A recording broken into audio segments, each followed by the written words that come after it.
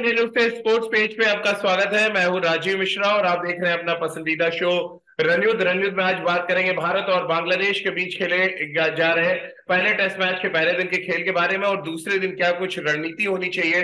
भारतीय टीम की उसके बारे में बात करेंगे। भारत के छह विकेट गिर चुके हैं।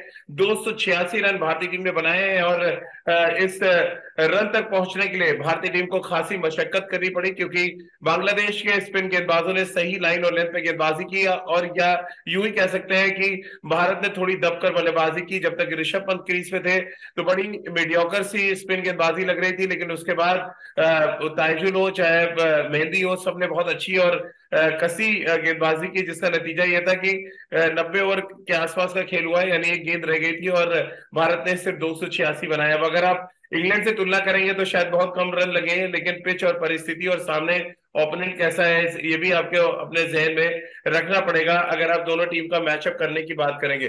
तो पहले दिन के खेल में क्या कुछ अच्छा रहा और क्या कुछ खराब किया? भारतीय टीम ने इस पर बातचीत करने के लिए हमारे साथ सभा करीम है, पूर्व क्रिकेटर सेलेक्टर और साथ ही अभी कॉमेंटेटर सभा भाई, कितना सेटिस्फाइड है? नब्बे ओवर का खेल, छह विकेट डाउन और दो सौ छियासी रन स्कोर बोर्ड पे सिक्स अनम्यूट कर ले राजकुमार सर अनम्यूट करे जरा।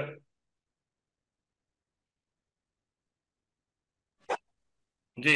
आ, मैं मैं कह रहा हूँ कि जिस तरह हमारी जल्दी विकेटें गिर गई और चेतेश्वर पुजारा हम सभी जानते हैं कि वो थोड़ा सा टाइम लेते हैं थोड़ा स्लो खेलते हैं एंड मतलब काफ़ी ज़्यादा डिफेंसिव खेलते हैं तो उस वजह से रन ज़रूर कम बने हैं लेकिन विकेट से बॉल आ भी नहीं रहा था।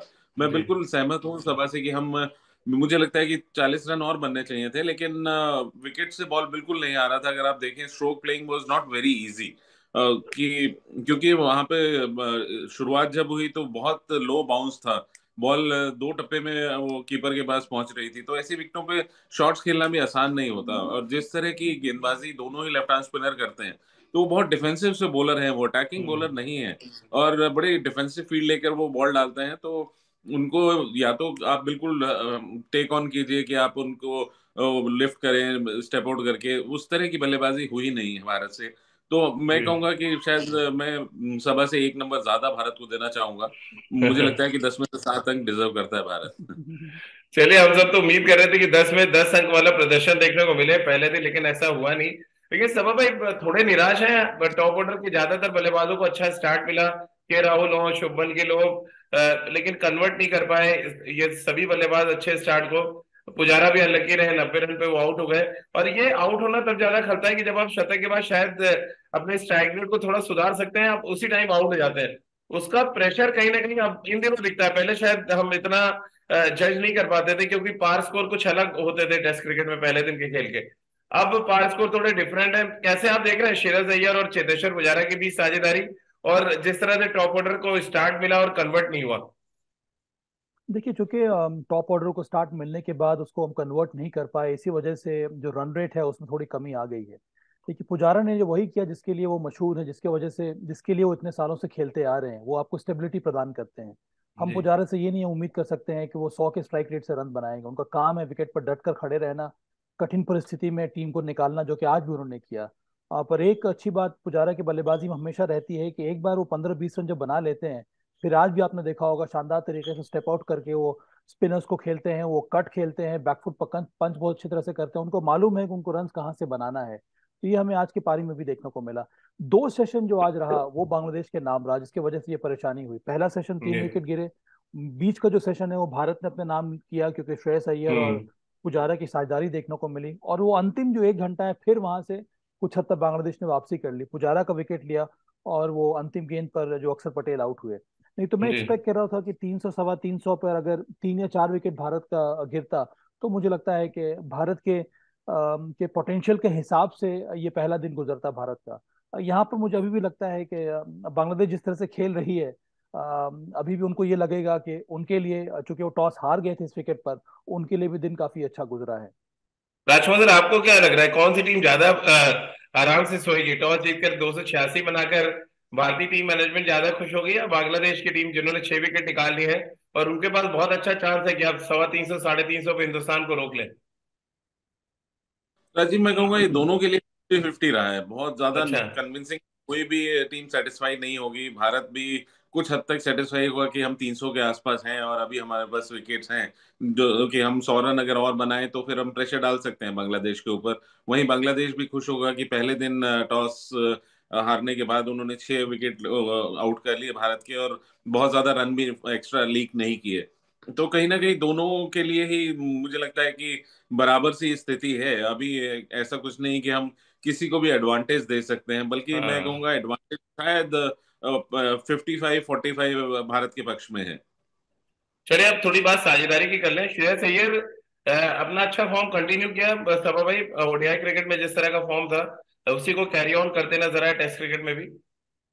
हाँ और ये अच्छी बात है जब आपका फॉर्म चल रहा है तो फिर उसी को आपको और भी आगे बढ़ाना होगा। हालाँकि हम्म आज उनको तीन मौके दो मौके मिले राजीव।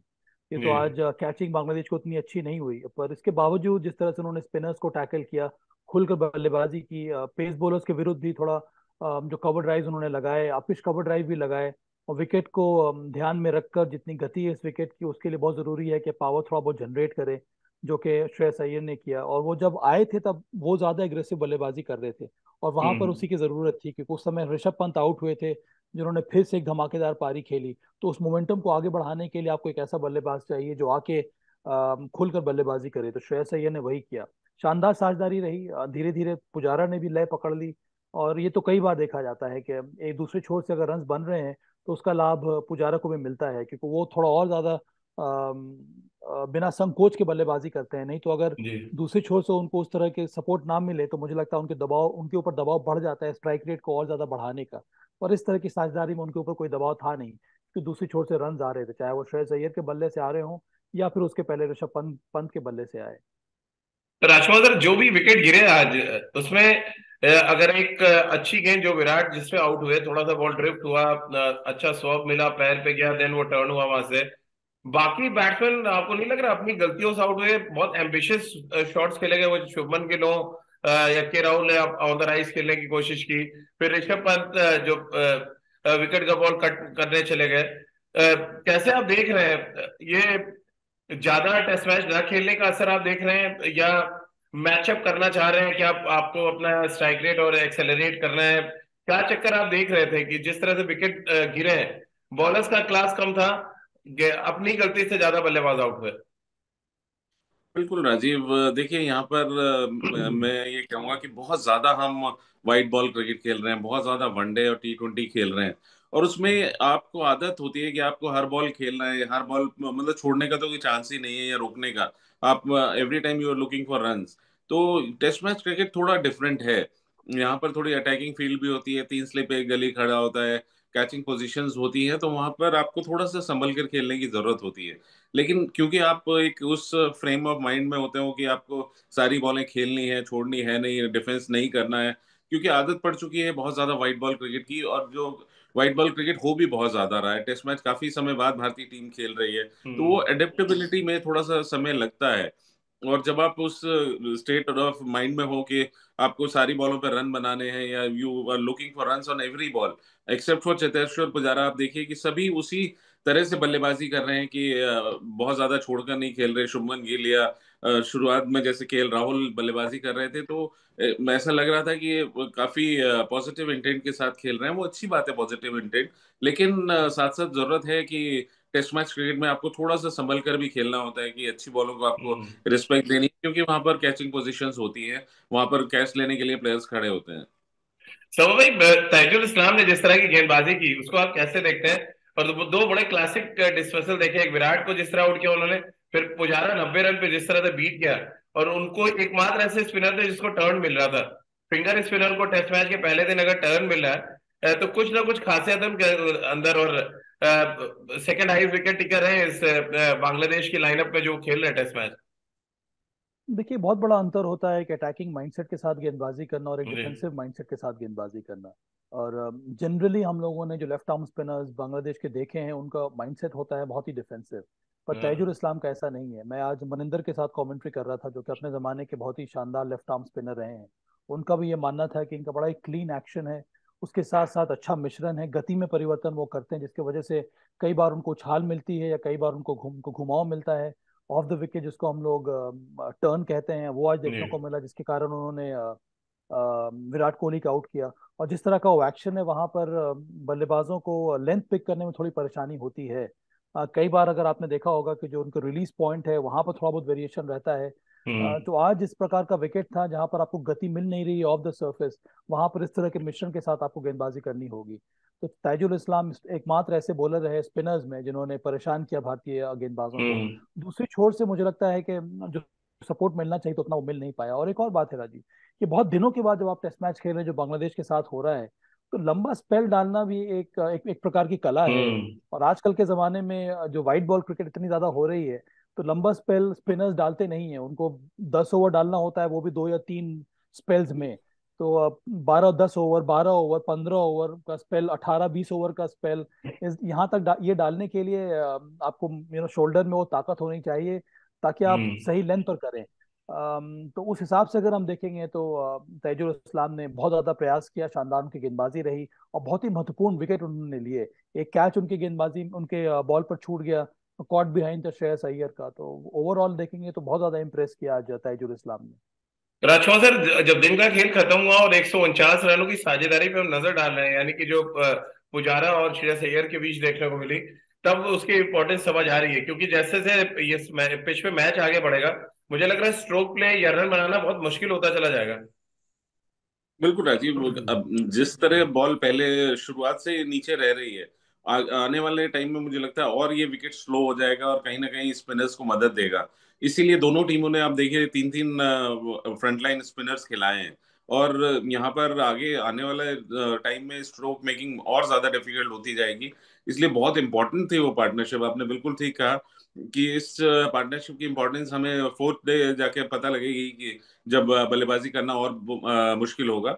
और अच्छी बात है कि अगर भारत अभी और सौ रन अगर और जोड़ लेता है तो मुझे लगता है कि काफ़ी ज़्यादा प्रेशर हो जाएगा बांग्लादेश की बैटिंग पर, क्योंकि भारत के पास एक अच्छा बॉलिंग लाइनअप है। तीन, हम प्रॉपर पाँच बॉलर्स के साथ खेल रहे हैं। हम्म।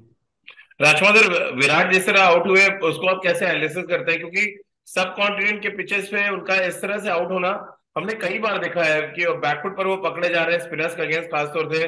इससे पहले ऑफ़ स्पिनर पे आउट हो गए थे, आज लेफ़्ट आर्म स्पिनर पे आउट हो गए। सभा भाई, क्योंकि कमेंट्री कर रहे थे उन सबका मैं बड़े ध्यान से सुन रहा था। इसलिए क्वेश्चन मैं आपसे पहले करना चाह रहा हूँ, फिर सभा भाई के पास जाऊँगा।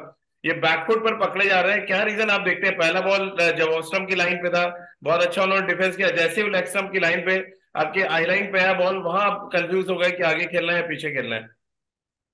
बिल्कुल राजीव डिसीव हुए हैं वो फ़्लाइट में और कहीं ना। कहीं अगर वो बेटर ऑफ़ होते अगर आगे खेलते उस बॉल को लेकिन वो एक बहुत मतलब मैं कहूँगा थोड़ा सा कैजुअल भी खेल के हाँ। पीछे जाके थोड़ा सा सिंगल के लिए इस तरह तो थोड़ा सा अजीब लगा कि वो मतलब जैसे होता है ना डबल माइंडेड से हो गए वो हाँ, कि आगे उसी बीच में ही वाज कॉट अप बॉल भी थोड़ा सा ड्रिफ्ट किया उसके बाद अच्छा स्पिन भी हो गया तेज टर्न तो, किया जी हाँ तेज टर्न किया तो उसमें क्रेडिट बॉलर को भी देना पड़ेगा। सब भाई आप कैसे देख रहे हैं? आपने कई डिसमिसल अब देख लिए हैं विराट के। ज़्यादातर सब कॉन्टिनेंट में बैकफुट पर खेलने की कोशिश रहती है उनकी। क्या रीजन आप देख रहे हैं? और फिर आउट होने का सिलसिला एक एक जैसे ही पैटर्न नज़र आने लगता है फिर। हाँ राजीव पर आज अगर आप देखेंगे तो विराट कोहली तीसरी गेंद पर आउट हुए तैजुल इस्लाम। तो उसके पहले दो गेंद जिन्होंने खेली वो फॉरवर्ड डिफेंस किया बहुत ही लंबे स्ट्राइड के साथ और हम लोग वहाँ हाँ। बैठकर तारीफ़ कर रहे थे। ये देखिए कितने शानदार तरीके से उन्होंने लेंथ को पिक किया है और उसके बाद बॉल के लाइन में बैट लेकर आए हैं। अब चूँकि एक पैटर्न सा नज़र आ रहा है इसीलिए मैं बात कर रहा हूँ। विराट कोहली के, के, के तकनीक के बारे में क्या क्या बात की जा सकती है? पर राजकुमार ने भी चूँकि वो भी बहुत बड़े कोच हैं वो भी अपने बच्चों को ज़रूर बताते होंगे कि जब हम फ्रंट फुट पर खेल रहे होते हैं स्पिनर्स को तो फिर जो बॉल की लाइन होती है उसमें बैट आना चाहिए। पर जब आप, आप बैकफुट पर खेल रहे हैं तब आप बॉल के टर्न जो जो जो एक्सपेक्टेड टर्न है उस पर आपको बैट हाँ। का बैट बैट लाना चाहिए। ना कि बॉल के लाइन पर क्योंकि गिरने के बाद जो जो कि आप बैकफुट पर खेल रहे हैं तो इसका मतलब है कि बॉल को समय मिल रहा है ऑफ़ द विकेट टर्न कराने का। तो फिर आपको टर्न एक्सपेक्टेड टर्न के हिसाब से बल्ला लाना होता है। तो चूँकि इस गेंद में गति थी ज़्यादा गति थी तो मुझे लगा नहीं कि विराट कोहली एक्सपेक्ट कर रहे होंगे कि इस इस बॉल पे भी घुमाव मिलेगा। इसी वजह से हम्म। उन्होंने गलत लाइन चूज़ की खेलने के लिए जिसकी वजह से वो एलबीडब्ल्यू हो गए। पर ऐसी कोई बड़ी बात नहीं है। आ, आ, मुझे मुझे मुझे तो ये लग रहा था कि आज उन्होंने लेंथ सही पकड़ी थी। पर जैसा कि जैसा कि मैंने कहा कि चूँकि गति ज़्यादा थी इस वजह से वो एक्सपेक्ट नहीं कर रहे थे कि बॉल इतनी इतनी ज़्यादा टर्न करेगी। सवाल अब सबसे आज के दिन का सबसे बड़ा और इंटरेस्टिंग सवाल कि व्हाइट बॉल क्रिकेट में ऋषभ पंत बिल्कुल खेल नहीं पाते और रेड बॉल क्रिकेट में वो व्हाइट बॉल जैसी बैटिंग करने लगते हैं। और ऐसा लगता है उनसे बड़ा प्लेयर ही नहीं है कोई। ये ये है क्या पूरा माजरा? जरा समझाएँ जरा हम मुझे भी और जो हमारे दर्शक है उनको भी कि रेड बॉल में आके व्हाइट बॉल जैसी बैट, कैसे बैटिंग कर लेते हैं? मुझे तो लगता है राजीव के व्हाइट बॉल में भी ऐसी बैटिंग करेंगे।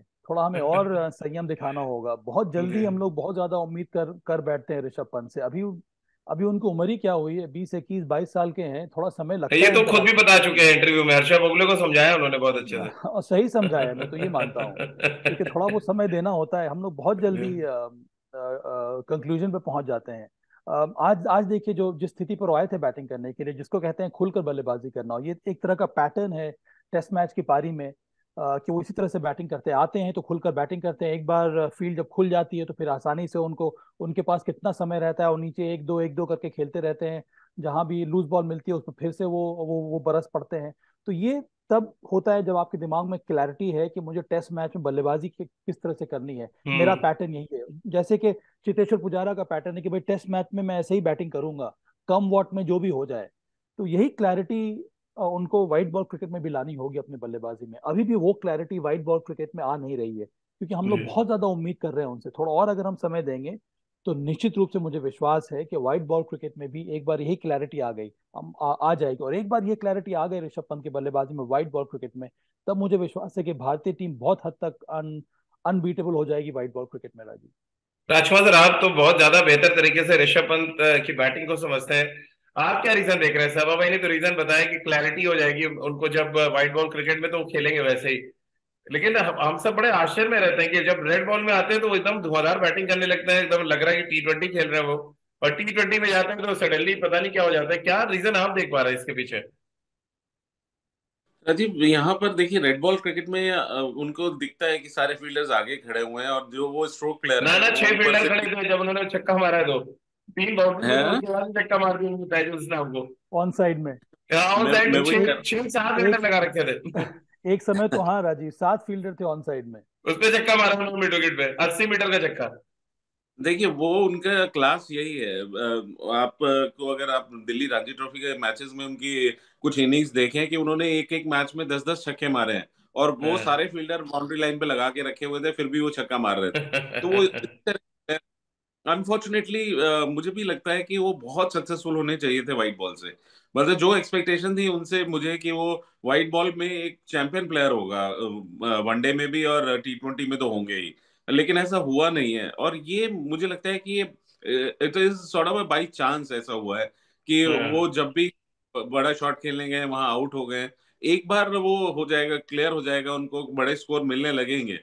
तो वो वहाँ पर भी मैच विनर वाली इनिंग खेलेंगे और वो जब मैं बिल्कुल सहमत हूँ कि क्लैरिटी थोड़ी सी हो जाएगी या जब वो आप उन्हें कहेंगे कि अब आप स्टेब्लिश हैं इस वनडे टीम में या टी ट्वेंटी टीम में तो मुझे लगता है कि जब उनके पास वो जिसे कहते हैं ना परमिट होगा अपने स्ट्रोक्स खेलने का तो आप देखिएगा कि वो बहुत बड़े प्लेयर है वो ऐसा इम्पैक्ट वाला प्लेयर हम्म। है कि पर वो कोई भी मैच जिता सकता है और सामने कोई भी अपोजिशन हो या कोई भी कंडीशन हो हम्म।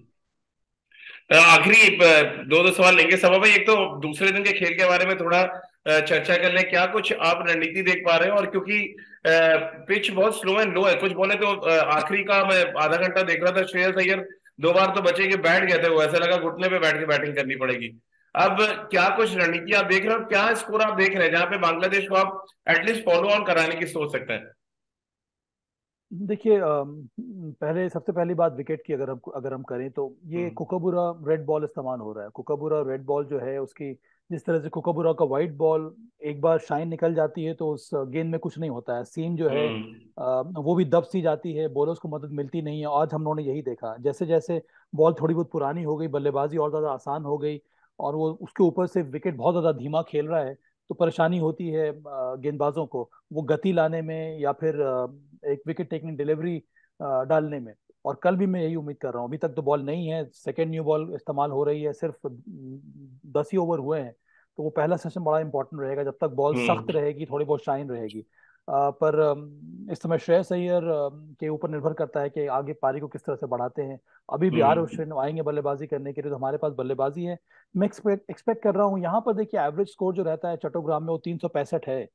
तो उस लिहाज से अगर हम देखें तो यहाँ से अगर सौ रन सवा सवा सौ रन भारत जोड़ लेता है तब एक बहुत ही स्ट्रांग पोजीशन में आ जाएगा। और भारत के पास पाँच बॉलर्स हैं और ये लग्जरी बांग्लादेश के पास नहीं है। इसका मतलब है कि हमारी जो गेंदबाजी है ज़्यादा धारदार रहेगी और यही गलती की है आज बांग्लादेश ने। उन्होंने अपने बल्लेबाजी की गहराई बढ़ाने के लिए कम मेरे हिसाब से तो दो बॉलर कम कम खिलाए हैं और उन्होंने ज़्यादा बैटिंग ऑलराउंडर्स खिलाए हैं बॉलर्स कम खिलाए उनके पास रेगुलर सिर्फ़ तीन बॉलर है और उसका लाभ बहुत हद तक आज भारत को मिला है। तो ये अब एडवांटेज रहेगा भारत के पास अगर हम लोग कल कुछ इस प्रकार के रन जोड़ लेते हैं तो। राजकुमार सर आप क्या रणनीति देख रहे हैं? श्रेयस अय्यर बयासी पे खेल रहे हैं और उनके साथ अश्विन आएँगे और उसके बाद फिर आपके टैलेंटर्स एक तो श्रेयस अय्यर का की पारी का आगे कितना जाना बड़ा इंपॉर्टेंट है और दूसरा, अश्विन, कुलदीप और अक्षर में से सबसे डेंजरस गेंदबाज के तौर पे किसको देख रहे हैं जो इस विकेट का फ़ायदा उठा सकता है? देखिए राजीव पहले बल्लेबाजी की बात करते हैं तो श्रेयस पर काफ़ी डिपेंड करेगा कि वो जितना हम्म। लंबा खेलेंगे तो मुझे लगता है कि कैपेबल हैं स्पेशली अश्विन उनको साथ देने के लिए हाँ। क्योंकि वो अभी लेटली हमने देखा है कि अच्छी बल्लेबाजी वो कर रहे हैं। तो अगर श्रेयस अय्यर थोड़ा लंबा खेलते हैं और वो अगर साथ में कंट्रीब्यूट करते हैं हमारे टेलेंडर्स और भारत कहीं सवा सौ रन और बना लेता है से अराउंड फोर हंड्रेड तो वो एक बहुत बड़ा प्रेशर होगा। और जहाँ तक बात है भारतीय स्पिनर्स की तो मुझे लगता है कि अक्षर भी काफ़ी यहाँ पे डेंजरस हो सकते हैं क्योंकि जिस स्पीड से वो गेंदबाजी करते हैं और गेंद हम्म अगर नीचे रहता है तो वो बहुत डेंजरस एक रोल प्ले कर सकते हैं। अगर उनको बांग्लादेश के बैट्समैन पीछे गए तो फिर उनके लिए काफ़ी मुश्किलें हैं। और बाकी अगर आप देखें अश्विन शानदार फॉर्म में है और टेस्ट क्रिकेट में उनकी गेंदबाजी लंबे समय से बहुत कंसिस्टेंट और अच्छी चल रही है। तो वो भी एक खतरनाक गेंदबाज साबित हो सकते हैं। कुल मिला के कुलदीप यादव भी एक मिस्ट्री बॉलर है तो मुझे लगता है कि तीनों ही स्पिनर्स हमारे बहुत क्लासिकल स्पिनर्स हैं और बहुत मुश्किल होगा बांग्लादेश के बल्लेबाजों को उनको टैकल करना इस पर्टिकुलर विकेट पर, जहाँ पर कि बॉल नीचा भी रह रहा है और आने वाले समय में टर्न भी करेगा। चलिए, बहुत बहुत शुक्रिया। राजकुमार सर आपका, सभा भाई आपका हमारे साथ जुड़ने के लिए और हमारे जो तमाम दर्शक हैं, जो व्यूवर्स है, बहुत लकी हैं कि राजकुमार सर के एक्सपर्ट्स कमेंट सुन रहे हैं और सभा भाई जो पूरे दिन मैच देखते हैं कि बॉल पर नज़र रखते हैं आप उनके विश्लेषण सुनते हैं क्योंकि आ, किसी और प्लेटफॉर्म पर आप इस तरह का एनालिसिस नहीं सुन सकते जहाँ पर हर बॉल पे चर्चा हो रही हो हर कमी पे चर्चा हो रही हो और हर, हर जो अच्छी चीज़ की गई है उस, उसको हम अप्रिशिएट करते नज़र आए। तो उम्मीद कर रहे हैं कि दूसरे दिन भी भारतीय टीम पहले दिन से बेहतर क्रिकेट खेलेगी और डोमिनेटिंग पोजिशन पे नज़र आएगी क्योंकि पिच में स्पिन गेंदबाजों के लिए काफ़ी कुछ है और ऐसे में भारतीय के तीन स्पिनर्स जो है बांग्लादेश के बल्लेबाजों की कड़ी परीक्षा ले सकते हैं, लेकिन उससे ठीक पहले भारत कम से कम साढ़े तीन सौ रन बनाना चाहेगा ताकि बांग्लादेश पर वो एक अच्छा खासा दबाव डाल सके। तो आज की हमारी इस खास चर्चा में फ़िलहाल इतना ही।